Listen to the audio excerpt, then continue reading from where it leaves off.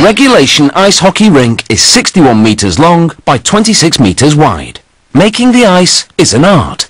If the ice is too thick, it'll tax the refrigeration system and soften on top. If it's too thin, the skate blades will cut right through it.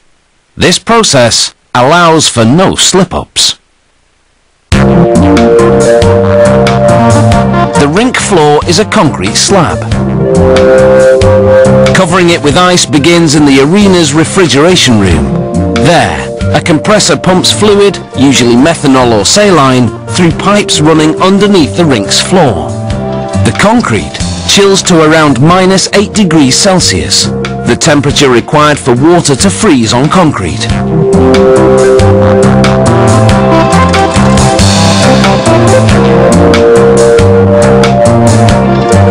This company made its own ice-making machine by refitting an ice resurfacer. Its onboard water tank feeds 20 sprayers that mist a 4-meter span. The water freezes within seconds. To make a quality ice surface, you have to build up the ice in layers, each about 2 millimeters thick. Driving in the standard outside to inside oval pattern, each layer takes just 8 minutes.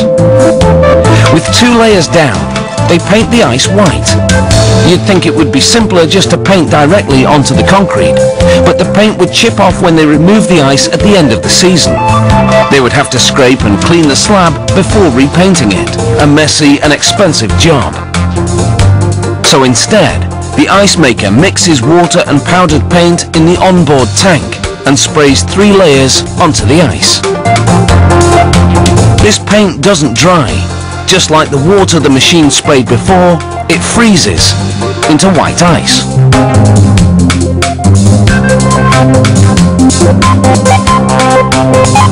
This metal dioxide paint is specially formulated for skating rinks, designed to cling to a base coat of ice. And unlike concrete paint, it's non-toxic and biodegradable, so that at the end of the season, the arena can melt the ice and let the water drain out without contaminating the environment. Now, a crew comes in to paint the hockey markings. Workers lay down string to mark the borders of the red line, the blue lines, and the goal lines.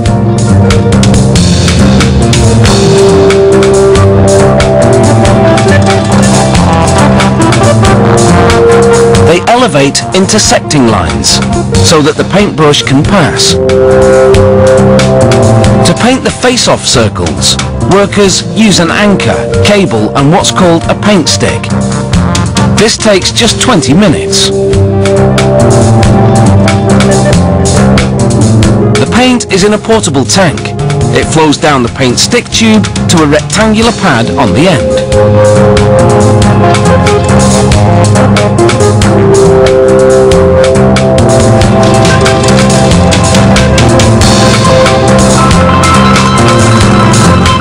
For the goal crease at each net, they trace a template. They fill it in with blue. The same technique is used to paint the eight red face-off spots. Back to the blue line. First, they spray water to freeze the strings in place. Then using a brush on the same type of paint stick they use for the circles, they fill in the 30 centimeter wide space between the strings. Now for the home team's logo at the center of the ice. After dabbing them up in blue chalk, they run it over a computer-generated paper stencil of the logo. This transfers the design outline to the ice. They spray water on the chalk lines to freeze them in place, then paint the logo.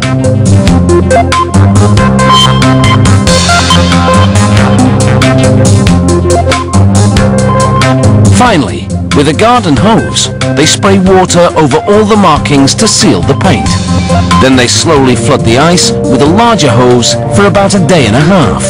This adds the final 3 centimeters of ice. The now skatable ice surface is about 4 centimeters thick, containing some 50,000 liters of water, about 300 bathtubs full.